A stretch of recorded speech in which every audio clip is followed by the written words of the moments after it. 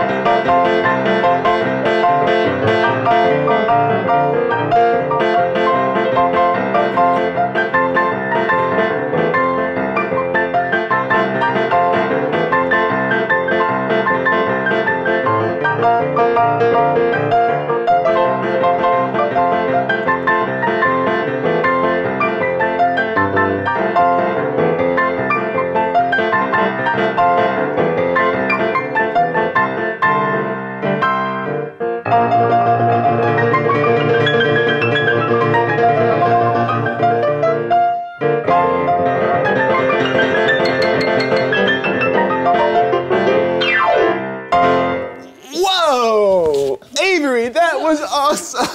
That was awesome, awesome, awesome! Was that fun? Yeah, that's fun. Oh, What's that last